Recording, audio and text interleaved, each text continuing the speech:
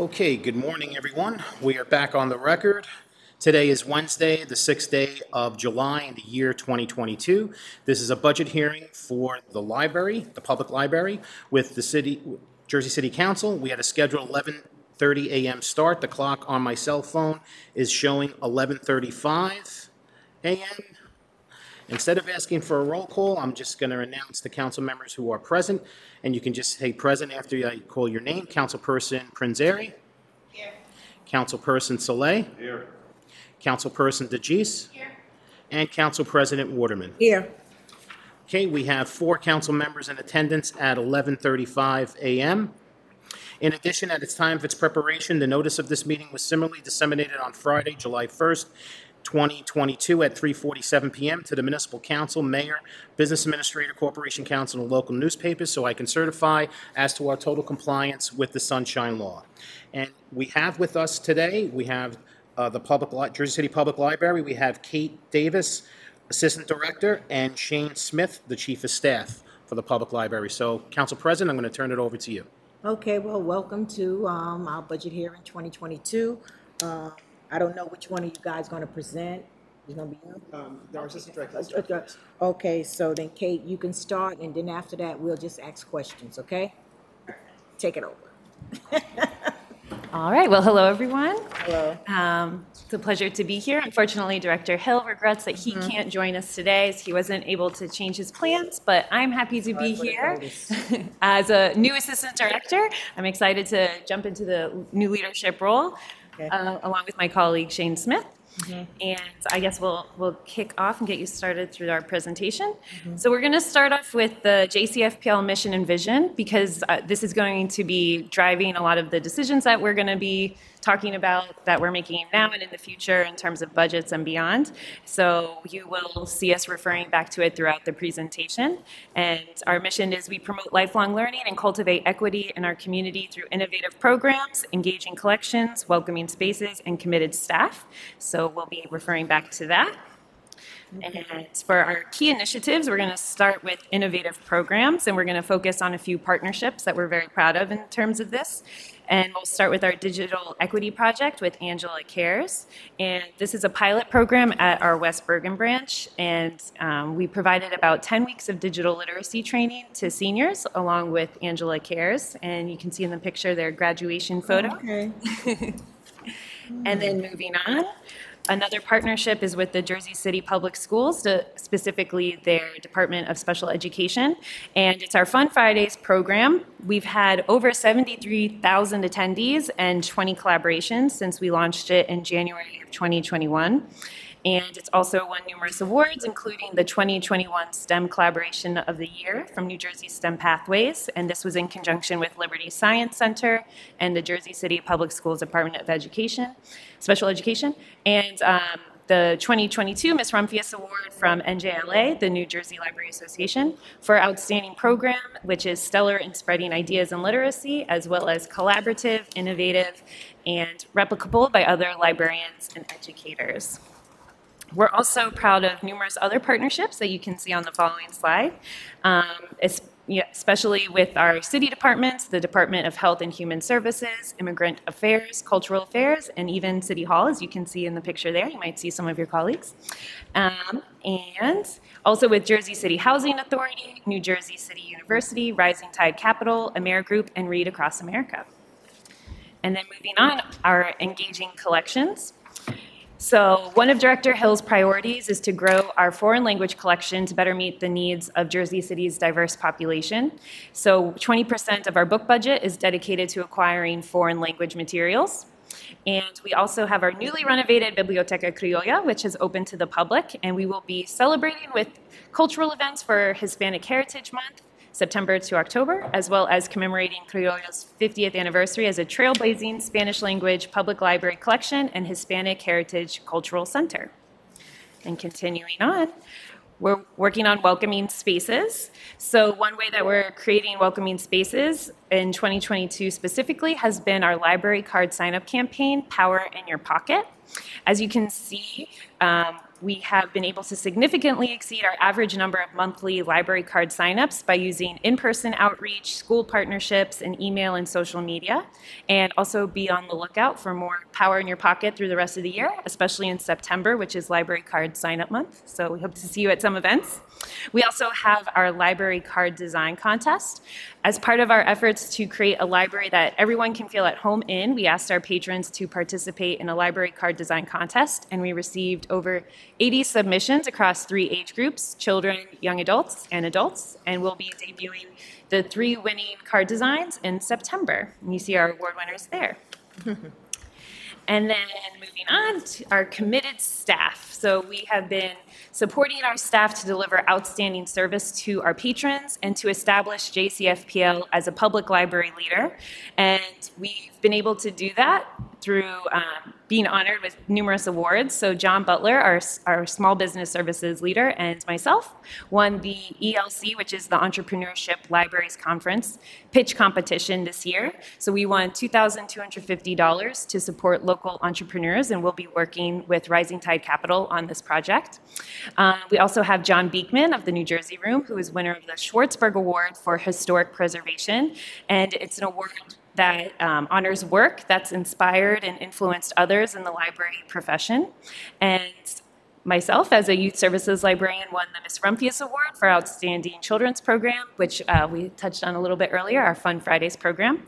So we're happy to be modeling um, excellence in the field. And we're also preparing to um, we're preparing for three new locations and 14 new full-time employees. So we're looking forward to the launch of our Communipaw branch by the end of this year and the Central Avenue satellite by the end of 2023. And we anticipate opening a Holland Gardens branch library in 2024. And now I'm going to hand it over to my colleague, Shane Smith. Thanks, Kate. Um, so yeah, so Kate uh, has highlighted some of the uh, some of the things that we've been doing in the community throughout the year, and I want to talk a little bit about the specifics of the budget and you know what really makes all of that possible behind the scenes. Starting uh, with just as just as a bird's eye view of some of our key statistics, get a sense of the size of the library. Um, Jersey City is the largest municipal library in the state. Um, and we are one of the largest in the metro area as well. Um, so we have 10 locations, soon to be 12 by the end of next year. Uh, that's over 158,000 square feet of facility space. We also have the Bookmobile, of course, which is our mobile branch. Uh, we have over 600,000 print volumes available for the public, as well as 2 million digital items. It's quite an extensive collection. Uh, we have over 100 full-time and part-time employees. And one thing I want to highlight about our staff which is uh, is that we really are as diverse as Jersey City, um, and I think one way to encapsulate that is through the languages that our staff speaks. We we speak over 16 languages collectively. Um, so in addition to English, of course, we speak Spanish, Arabic, Hindi, Tagalog, uh, as well as a numerous other languages like Gujarati, Urdu, Italian, Portuguese, Igbo. So there's a large number of languages represented in ways that we can offer services. Um, and we do have over 194,000 library card holders currently, and as Kate pointed out, that's growing every day. Our next slide is just our organizational chart. Um, that's uh, for your information, but I also want to uh, highlight some of the priorities that Director Hill is emphasizing um, in, in the organization chart. So what we're doing is meeting community need through a variety of means, right? Our facilities, collections, and resources, and that's why we have a new assistant director, which is my colleague here, Kate. Uh, we're also building an accountable and effective organization, making sure that we're a good steward of the public resources. That's a big part of my role as the new chief of staff. Um, we also are emphasizing our public programming, so we've uh, onboarded uh, a youth services and programs coordinator, and we're planning to onboard uh, and recruit and onboard an adult services and programs coordinator as well. And we're laying the, the, the groundwork for future growth uh, by recruiting a development officer later in the year as well. Excuse me. Um, so on the next slide, this is just uh, a little bit of information about our revenue. Uh, there's a few things that I want to point out here. Um, on the right-hand side, you can see how the library budget has grown, which is obviously very positive. Um, and uh, we're, you know, what we're really using those those extra dollars for is to prepare for the future. But in addition, we're also um, looking back at the previous levels of funding. Uh, as you can see, we had quite a, quite a jump from 2018 to 2019. That's about a 20% increase in our budget in that year, which was great. Um, but what it means is that before that time, we were limited in what we could do. So we're using some of these extra dollars now to make up for what we were unable to do due to funding shortages previously. Um, I also just want to point out that, um, you know, while the numbers are going up each year, our percentage growth is not going up as quickly as it was. So we're keeping an eye on inflation, and obviously, we're not the only uh, organization that's facing issues with inflation, but this year, actually, inf- currently, so far, inflation has double, is double what our percentage growth of our budget year on year. So that's just something that we're keeping an eye on. Um, And there's also a definition here of the one-third mill, just in case anybody's unfamiliar with how our uh, funding is structured. I'd be happy to answer any questions about that as well. Um, Of course, with revenues come expenditures, so this is just an overview of how we are spending the money uh, for this current year. Uh, We're spending about 72% of our budget, or $11 million, on salary and benefits. And then we also focus on patron services, which includes all of our print and electronic materials, all of our digital resources, as well as the free Wi-Fi hotspots that we make available to the public, and additionally, our public programming. Um, Our facilities and maintenance is about 9% of our budget. That's rent, utilities, et cetera, et cetera, cleaning, security. Um, And adminis- for administrative costs, we try to keep that pretty slim, around 3%. So um, that's our total projected expenses for 2022. Um, I just wanted to highlight some of the facilities needs that we have. Um, We ha- we have an aging uh, physical plant in general, um, and that's a good thing because it means that we've been in part of the, part of the community for a very long time, but it also means that we need to invest uh, significantly in some of our facilities. So we have some immediate needs here, um, and I just want to point out one thing specifically in, in emergency repairs. We have about a four hundred four hundred forty thousand dollars that we're looking at spending the current year on emergency repairs, and of that, two hundred and fifty thousand or so is is in the Miller branch. Um, and that is a beautiful building. It's a and it's hundred years old this year. We're celebrating the centennial of Miller Branch, uh, and we want to make some investments in that building. We need to make some uh, repairs, the facade and some of the bathrooms, um, but we also want to do uh, some additional upgrades. And um, in addition to that, we have some repairs we need to make at other locations, such as Gardner Main Library down here downtown, uh, Heights Branch, Five Corners. Uh, we also want to make some significant upgrades to Lafayette Branch, which is another branch that's very close to 100 years old. Um, and uh, we're right now we're in conversations with the landlord there to make some specific upgrades, including uh, ADA accessible entrance. Uh, As we have mentioned, we have two new locations coming online. That's the Communipaw branch, as well as the satellite location on Central Avenue. So we will have some startup costs this year associated with those locations. And uh, Director Hill's committed to returning to full staffing by the, uh, by the middle or end of next year, um, because we have had some excuse me, uh, during COVID, we've had some resignations as and retirements and so on. So we're looking to to fully staff. Um, and then in terms of our future growth, um, these are just some of the bigger projects that we're looking forward to over the next uh, five, maybe ten years. Um, in the nearer term, we're looking at completing the renovation of the historic Gardner Main Library. Um, and that is a $10 million project, and we were fortunate and um, grateful to receive a, a a $5 million construction bond from the state library, as well as a $5 million match from the city uh, to complete that project. So that's on our, that's something that we're working on uh, right now. We also will have some startup costs coming with another new branch in the, in the next year, in 2024. We're working with Jersey City Housing Authority on the, on a- opening a branch in the Holland Gardens area. Um, And then, of course, as I mentioned, Miller, uh, we have, we have some big plans in mind for Miller. We're just thinking about how we can fund those, but that's something that's like a, a longer-term project. We did, we were able to do an assessment in 2020 um, and price that, a full renovation for Miller at around $20 million. So that's something that we're actively figuring out how we're going to be able to fund in the, ne- in the next couple of years. Um, And then finally here, uh, since the last time uh, that the library and you all met this way was mid-year in '21, we just wanted to give you uh, just a sort of an update on where we landed in 2021. And you can see that the um, percentage-wise, in terms of our, in terms of our spending, uh, we're very much similar to how we're, how we're moving forward in 2022. Um, And uh, we were able to do a lot in 2021 as well, which we'd be happy to share with you anytime. Um, And with that, I think Kate and I would be happy to clarify any questions or provide more detail on anything. Thank you very much.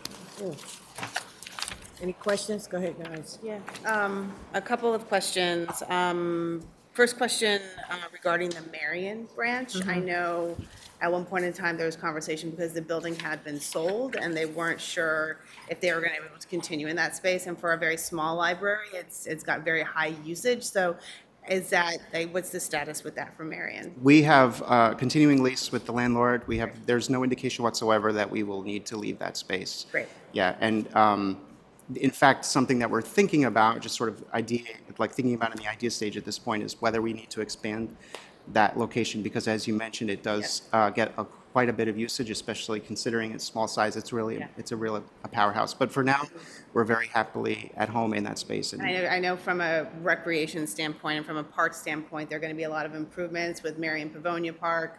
We have the new field, you've got the pool right there, so creating a hub for youth and youth activity, I think would be really great for the residents of Marion, even though technically they're no longer on Ward B. Um, but also for Marion Gardens too, and doing that Yeah. outreach. Um, and then the second question I had, this actually goes back to a conversation from a couple of years ago. When we were bouncing around the idea of a municipal ID and where that might live. I know some of us have gone to Newark and learned about the program they have there. And I know in other municipalities, they do house this under the library. Yes. Um, and to varying degrees of mm-hmm. success, but I know like right now for this, like every year this comes up for parents who don't have a photo ID to get their kids into the swimming pools and, you know, and just for like, like basic, basic services when it comes to, um, you know, like, like with our, with our health department, with WIC and with some of the, the programs that we have to give people a hand up that they mm-hmm. might need. So uh, is there any conversation about exploring this again? And does it make sense for it to live in the library?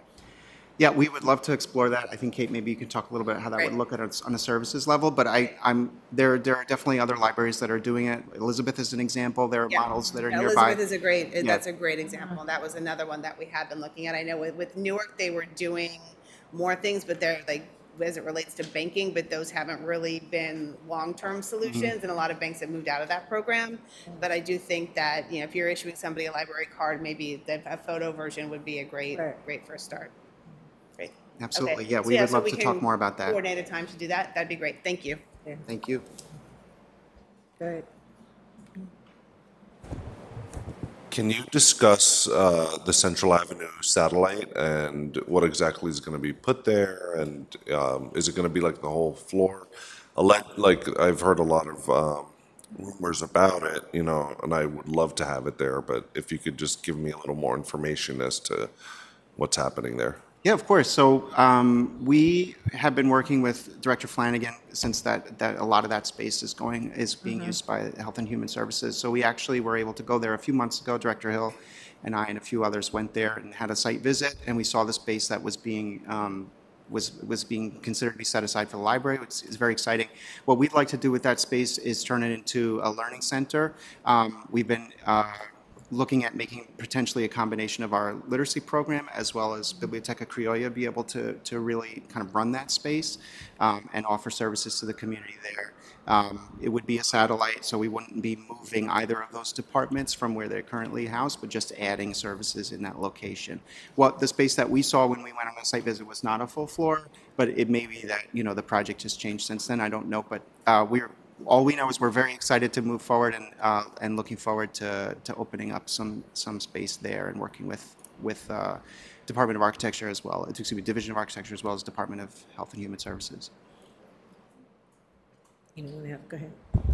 Can you speak to the literacy and the GED program? Do you know approximately like how many youths had to get their GED through you, especially during the COVID years? That's a great question. I don't know the answer off the top of my head, but I can definitely get back to you on that. I know that JSEP refers students to you. Yep. Um, is that a burden at all? Um, I don't believe that it is. Um, I would, I would love it if, if you could meet with the, di- the director of our liter- literacy program, Darnell Richardson. She'd be able to give you a lot of those details. Yeah. Um, but yeah, I mean, I, I know that we have a steady flow of, of folks coming in.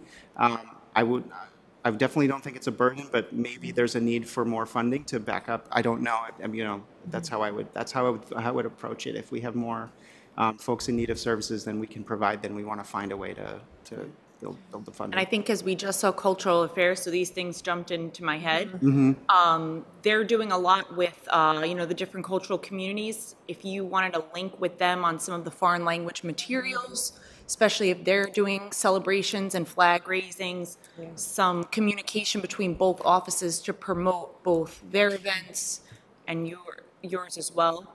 And I see other cities adding um, campaigns for more library cards to voter registration drives, um, dog licensing drives, things like that. So I would probably be just a point person to other departments, um, as well as maybe Jersey City Rec introducing more trips to the library during your special events during the summer and the after-school programming. Wouldn't be an additional cost on you guys, but it would actually increase an audience. So those are some things that popped in. Those are all great ideas. Thank you so much. Yeah, I don't know, Kate, if you want to mention some of the stuff that we've been doing with the schools and the tours. Yeah, so we actually have um, a new outreach coordinator that has been working with cultural affairs. So we are working towards, you know, working with them a lot more and having more of a strong partnership. And, and what was the, the last thing you said? The uh, Jersey City Recreation, Yeah, and so we do have a strong connection with them as well in their youth development program. So last year we would visit their summer camps and uh, we would bring the bookmobile and things like that. So um, that's another partnership that we definitely would like to strengthen. Perfect. Mm-hmm. And um, is there any way we can have some bookmobiles at some of the senior centers where we have seniors that can't mm-hmm. leave their facilities? and Maybe they could have once a month some access to new material? Mm-hmm. Yeah, absolutely. Yeah, we want to look at over, the dir- director wants to look overall at our bookmobile stops and think about how we're, how we're using that vehicle. But yeah, they do, they do visit some senior centers, but perhaps there's a way that we can do more, you know, by scheduling something once a month or something like that rather than every week. That's a great idea. Thank you. Mm-hmm. Thank you. Do you guys have book clubs? You know, like um, everyone's reading the same book, and mm-hmm. I think if you're gonna have the satellite office at on Central Avenue mm-hmm. with the senior center, it's gonna be like a senior center. Maybe like have a book club meeting. Um, that would work, yeah. I remember, you know, then maybe have a lunch. I mean, they already get lunch there, so maybe they could talk about the book that they're reading. Yeah. So. That's true. That's a good idea. Yeah, we, we have some interesting partnerships. We were doing virtual book clubs uh, during the pandemic, of course, but we're also trying to show up in different spaces. So we're actually talking with um, Jersey Wine and Spirits about doing like um, an adult book club where you can drink like the book you're reading, kind of thing. So we're trying to, you know, adapt, uh, make make a show up in different spaces because right now a lot of our physical spaces can't accommodate a lot of people so we're trying to figure out how we can do that while you know places are kind of closed for renovation or you know our spaces are adapting. Uh, but we definitely want to have more community spaces for book clubs and other activities like that to bring the community together not so much for the, the physical books which are obviously we love them and are important but also for like cultural events and uh, more experiences Do you, uh, does the library do like nighttime meetings? Like if I was to have a community meeting, um, would you guys be able to come out and speak about the services? Just because I know there are so many services that happened during the pandemic. Like you guys are giving out mobile hotspots to families that didn't have internet access. You do career services. You look over resumes. You print out things that people need to print out. Um, I think like I would love to have a representative come to like some of these community meetings and say, hey, this is what the library does, you know, or come to one of my community meetings and, you know. Yeah, we have we have been going to some of the neighborhood association meetings, and we work with some like Friends of the Parks when they have meetings. Um, we also have evening hours, so like in our main branch, uh, Tuesdays and Thursdays we're open till 8 p.m. And again, we're trying to adapt so that we can offer space to have meetings, and you can come to the library and have your meeting. Um, so I mean, these are our goals for Yeah, the and we're, put us on your calendar. We're happy to, we're happy to come and speak to any of your constituents at any time. We, we would I, love that. I Thank can you. attest to that, and also Yeah. Miss Debbie from West Yes. Bergen has been fantastic with outreach Mm-hmm. at many of our events on the west side of the city.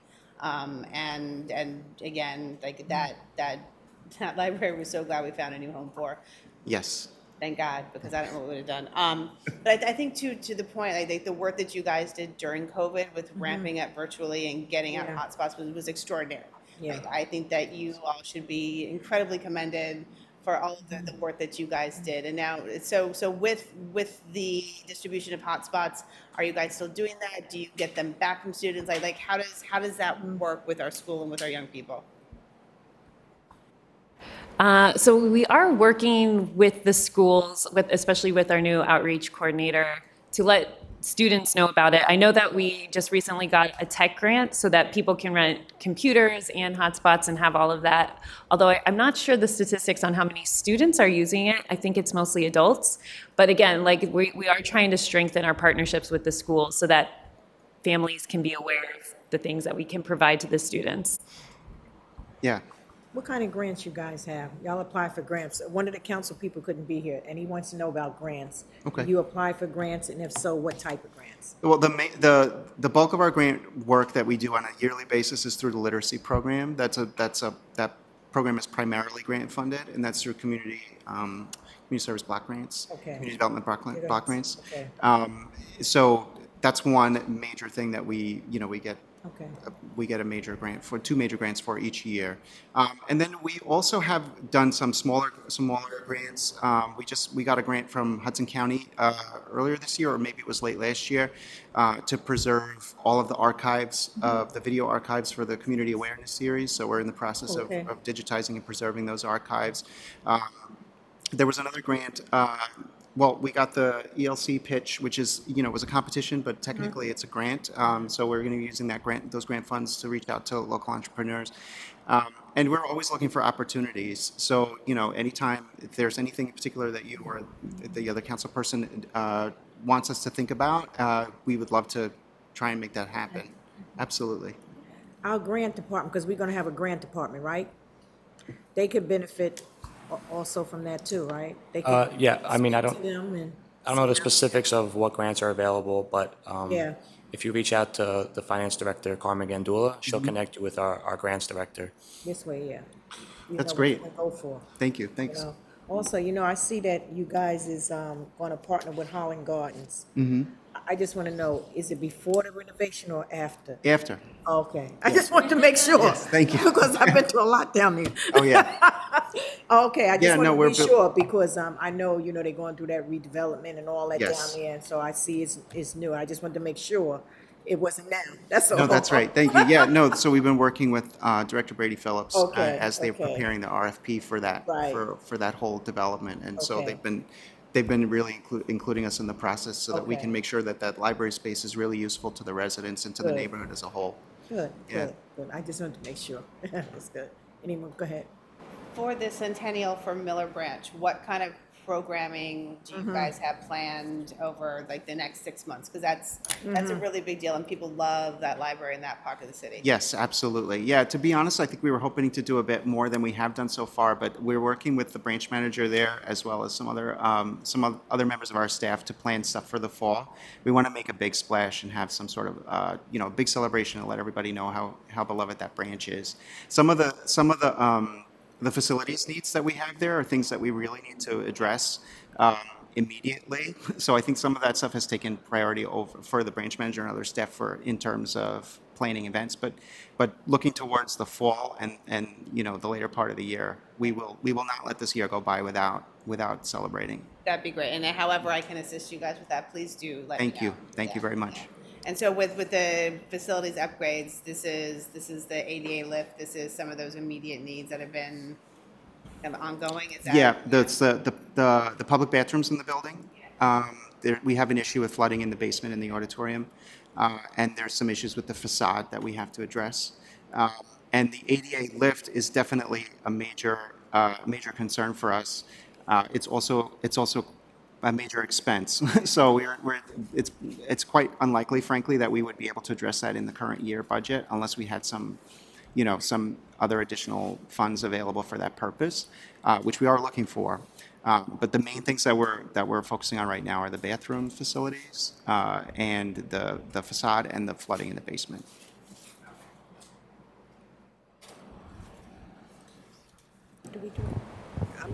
There was a $5 million grant that uh, the library received, was it two years ago or is it In 2020, yeah. 2020? Was that a one-time, it was a one-time thing? Um, Yes, that's a one-time matching grant uh, to match the $5 million construction bond that we received from the state library. And we're using that total of $10 million to complete the renovation of Gardner Main Library. Okay, that was pretty huge. I mean, it was. Yes. So, I mean, I'd love to see more of that, and if there's any way we could talk to our state assembly people to, you know, because you guys work with Angela Cares, if we could get some more funding towards our libraries, that would be awesome. Yeah, absolutely. And state aid for the, for the public libraries is an issue every year. Um, And we actually have very active delegation. Um, We've spoken a lot with Assemblywoman McKnight, but also with Assemblyman Mukherji specifically is a, is a really strong advocate for state library funding. Um, It's one of those things that, you know, every single year where, you know, the public libraries all over the state are really asking for, for the state to kind of give us a little bit more, more, more funding. Um, and particularly, you know, not to get into the weeds on this issue, but if you look at other states, there's, other states are really doing a lot more, frankly, than New Jersey is in terms of state funding for libraries. So we'd really like to be able to reach that, reach that level. Which other states? I just want, I'd like to know who we're in competition with. Well, frankly, Ohio is a really good example of, Okay. um, of a state that really funds uh, their public libraries very well. Um, and they, you know, I'm, I'm not 100% familiar with their, with their funding model, but um, it is potentially something that we could think about here in New Jersey. I don't know, Kate, you might know a little bit more about it. Yeah, I mean, and it's just reflected in, if you look at um, like starred libraries, that all of them are, you know, not all of them obviously, but a majority of them are in Ohio. Like on every list, it's like half Ohio. So they definitely have something going that if we could replicate, that would be awesome. Yeah. Definitely reflect better on us as well uh, in the nation. Thanks. Okay, that's it? All right, see? Thank you. Thank you. Thank you. Wasn't that bad at all. Thank That you. was great. Thank you very See? much. Thank you for what you do. Do a great job. May I have a motion to adjourn at 12:07 PM was made by Councilperson Prinz-Arey. May I have a second? Second. Second by Councilperson Saleh. All in favor of the motion to adjourn at 12:07 PM? Council members present by acclamation, please say aye. We are out of here at 12:07 PM. Thank you very much. And remember, teamwork makes the dream work. Okay. Have a good day. We're back at, thank you.